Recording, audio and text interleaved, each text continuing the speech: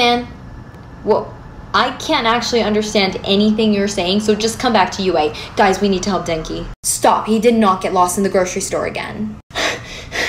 no sé qué está pasando. Yeah, so that's what happened. Aizawa, nope, not my responsibility. This is your assignment for the week. Ugh, just speak normal, dunce face. Pero esto es normal.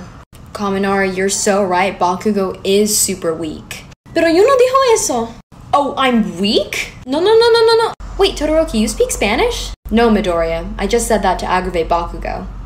And it was worth it.